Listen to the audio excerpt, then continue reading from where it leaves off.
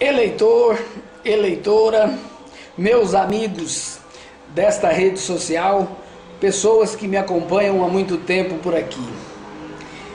A gente está vendo as propagandas políticas saírem por aí e agora começou a fase dos ataques. Discretos, mas ainda assim ataques. Você, eleitor que quer mudança, deveria ou deve votar no delegado Valdir.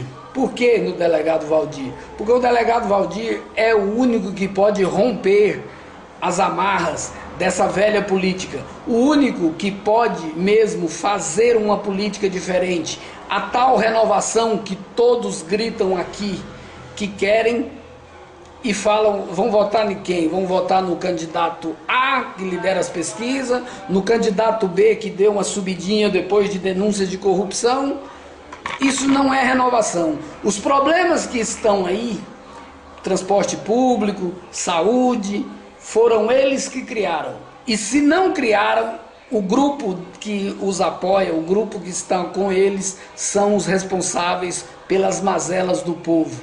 A gente, nós eleitores, precisamos mudar isso.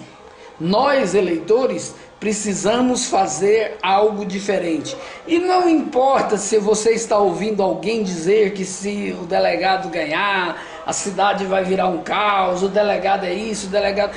Eles estão propagando esse tipo de notícia porque eles não querem mudança. Eles querem que continue exatamente a mesma coisa, que você continue sofrendo com o transporte que tira a sua dignidade, que você não tenha atendimento nos postos de saúde, que você não tenha uma educação de qualidade. É isso que eles querem que continue. Por isso, eles pregam que tudo viraria uma terra arrasada caso o delegado Valdir ganhasse. Isso não é verdade.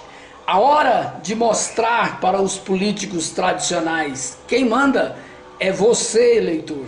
É a sua escolha que vai fazer a diferença. Eu sou o Reinaldo Cruz e estou aqui neste espaço falando da renovação. Renovação na política para prefeito de Goiânia, delegado Valdir, número 22.